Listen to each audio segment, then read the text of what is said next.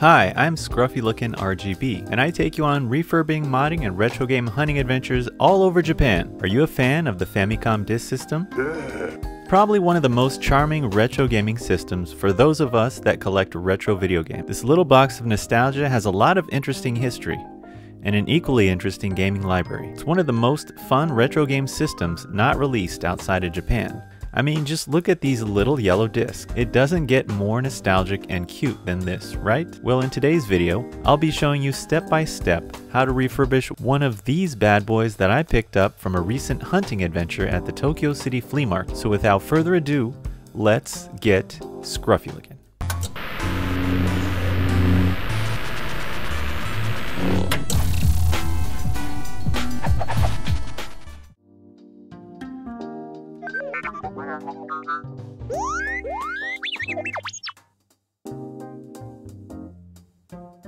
Sorry about that, R2. This is the Famicom Disk System. It was released all the way back in 1986 and retailed for 15,000 yen. The games also were set to sell for around 2,500 yen each. It was a way to cut down on the expense of cartridge-based games because it was cheaper to produce disc-based games instead. Interesting points about the disk system hardware is that you can have two options for the power. You can use six C-sized batteries. There's an AC adapter that can be purchased separately. I often go with the batteries because the less cords, the better. I found the power consumption is also quite low, and no joke, my batteries have lasted for the past three years. This is the RAM adapter for the disk system that you insert into your Famicom cartridge slot. I'm sure you noticed the familiar shape on the underside here. It has a loading light for when the disk is being read, and a nice yellow eject button. Of course, the complementary burgundy red Famicom color. It was really well designed to complement the original red and white Famicom. Disassembly of the outer shell. There are six screws in the bottom side located here. Once those are out, the top pulls off quite nicely to reveal the drive. Then, six more screws, four on the drive and two on the battery holder above. You don't need to remove the battery holder, but it's really hard to remove the power board connector on the back of the drive if you don't. You'll see what I mean in a moment. And lift the drive slightly and pull up the face of the shell. Be careful with the wire connected to the LED indicator. There is one screw to remove. Now this is one annoying point. The cable that goes from the power board to the drive unit is really held in tight. So if you don't remove the screws on the battery holder, you will have a difficult time getting enough grip to disconnect this cable. It has 18 pins, so be cautious not to bend any of them. This is the very crumbly belt that is used to spin the drive, and you'll find these little bits here and there inside your disk system. Remove the power board by taking out the two screws holding it down. Then remove the four inner drive feet. Let's remove the original stickers so they don't get damaged in the water. I like to use lighter fluid here. It loosens up the sticker so you can keep it intact and put it in some wax paper. Then you can reapply it after the shell is clean. I'm being very careful not to damage the label. I'm just using the blade here to lift up.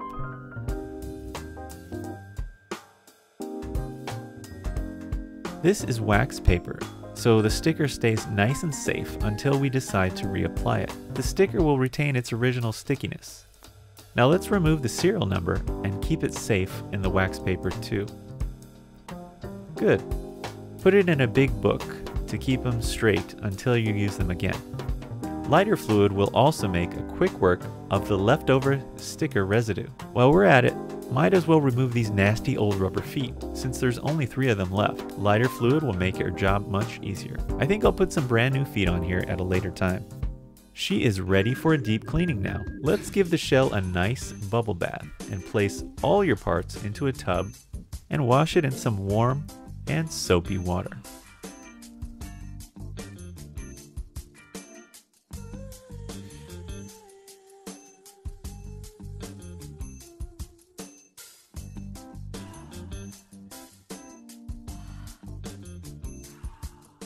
So fresh and so clean. Disassembly of the drive unit. Be careful when removing the drive unit because it's made of metal and there are sharp edges. There are three screws to remove from the back of the drive unit. Don't remove the recess screw in the upper right corner just yet.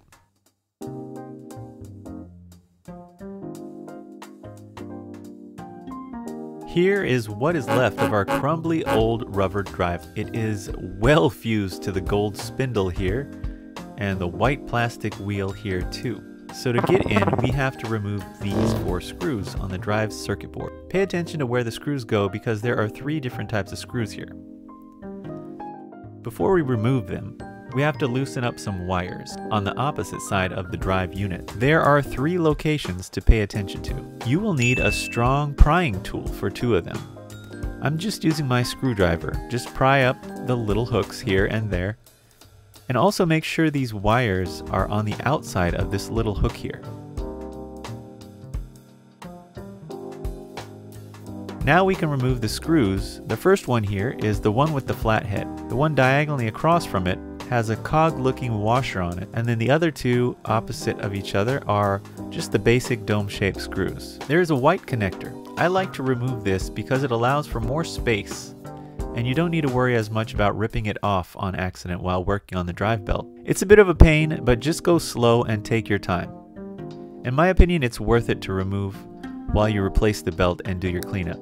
Clean up the remaining rubber belt. I don't know how these rubber belts get fused to this little spindle here, but they're really stubborn to remove. I like to use a non-metal object to scrape at it, like this wood coochie stick or a plastic sharp edge. Then if you add a little IPA on a cotton swab, the process tend to goes much faster. Finally, it's free of the old rubber belt remnant. Removing the metal retainer and gear wheel. There are three long screws. Once the screws are out, it becomes very loose and you want to rotate it clockwise and pull it slightly up and out to the left. It takes a little bit of force to do. Use the force. But it's not terribly difficult. Just to repeat, I want to show you the motion I use a few times here. Rotate it clockwise and pull it slightly up and out to the left. When it's time to put it back, you'll want to do the same way, but in the opposite direction, of course. Here is a little piece of belt I forgot about. If you look closely, there's a tiny bit of belt residue left behind. Let's give it a quick wipe with a cotton swab and some IPA. Installing the new belt. This is a Mobilon band. I bought this bag off of Amazon a few years back. I'll leave a link in the description. They are made in Japan, they are made of latex, and they are sulfur free, so that's good enough for me.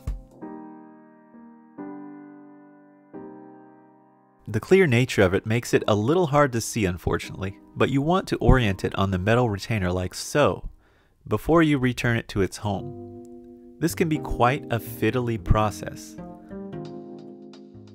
And pull the other end around the opposite side as shown. I'm using my finger to hold it in place so it doesn't slip off and get tangled. But you can add a piece of tape here if you prefer that way. Then your fingers are free to concentrate on replacing the metal retainer piece. Once the metal retainer has been reseated properly, you want to wrap the band around the two wheels, the tiny gold wheel and then the big white wheel.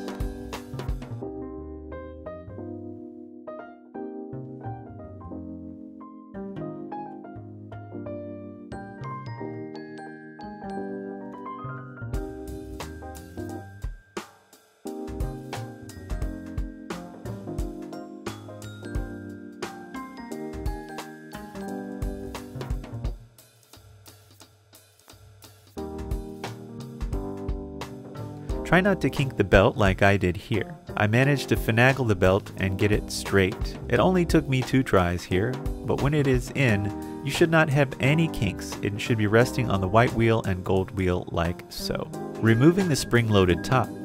This is the scariest part of this refurbish because of the tiny three springs you must remove. The point here is to hold one side of the spring while unhooking it or it may fly off and get lost really easily. A pair of tweezers will really come in handy for this. Use a finger to hold the top side of the spring and use the tweezers to unhook the spring. Then pull the spring off safely and store it in a nice safe place. Repeat the process for the other two springs. You also have to remove the face plate of the drive by taking out these two screws. Now the top will come off you might need to use your tweezers to release the white latch. Now we can see the spindle head and a lot of grime and dust that's built up over the years. Use this opportunity to do a little cleaning with IPA and a cotton swab. If you remove any of the grease, make sure to replace it afterward. It keeps the gears moving smoothly. Aligning the spindle head. You want to focus on this point here.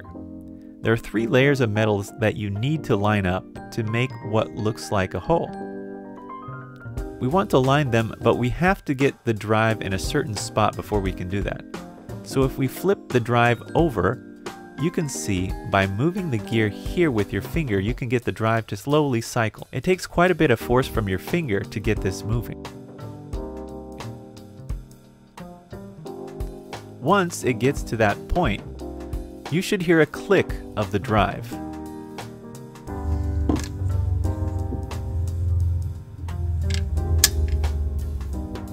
At this point, we stop spinning the gear. Now we want to align the spindles flat side with the screw to be facing the disc reader. So you'll need a tiny Allen wrench for this job. Make it loose, spin it to face the black arm, tighten it back down, and your disc system has been aligned. Let's get everything back together and see how our refurbing work has gone. When you return the top of the drive, make sure to lift the spring-loaded arm up so that it rests above the top piece of plastic. Be careful with the little springs, one finger on the bottom while you connect the top. Reseat the cables and wires Note the black lever may need to be guided into its hole when returning the circuit board to its home. Reseat the cables and wires. Replace the screws in their correct locations. The bottom of the drive should latch at this point first to line up well. Return the three screws, add the front plate, Let's add some new silicone grease to the posts here to keep this machine running smoothly.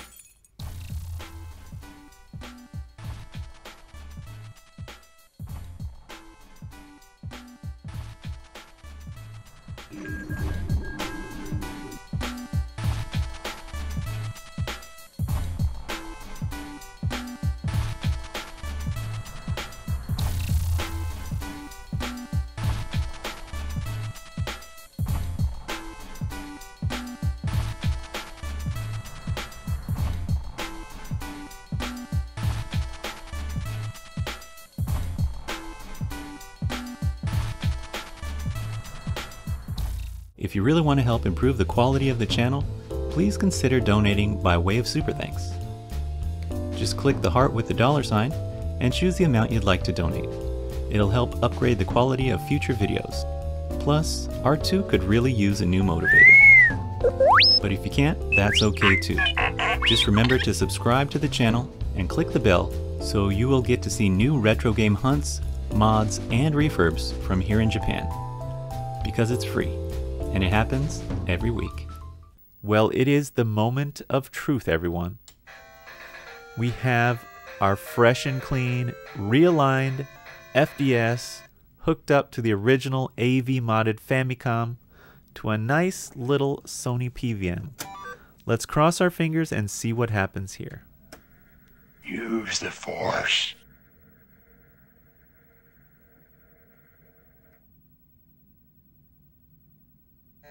Yes! It's alive and well. I'm so happy we're able to bring this one back to life. Now that you know how to easily refurb your Famicom disk system, when are you going to try refurbishing one of these amazing pieces of history? Do you have any advice for me on how I could improve my refurbishing methods here? Or if you just want to share why you like to collect for the Famicom disk system, let me know about it down in the comments. Thank you all for hanging out with me for this refurbishing tutorial and repair. Hope you're all staying safe, but above all, stay scruffy looking. Who's scruffy looking?